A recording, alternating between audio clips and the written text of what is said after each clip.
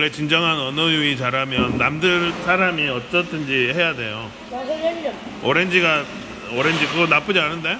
어, 오렌지를 먹은 지 얼마나 오렌지 말고 어. 쌤한테 아재개가 따라왔어요. 어제 개그 말고 아재 개그? 네. 어.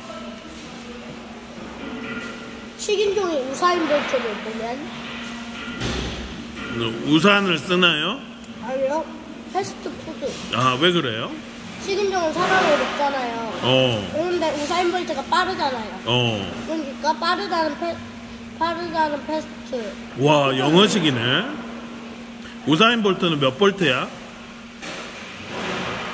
모르겠어요. 220 볼트인가? 어, 고마워요. 네.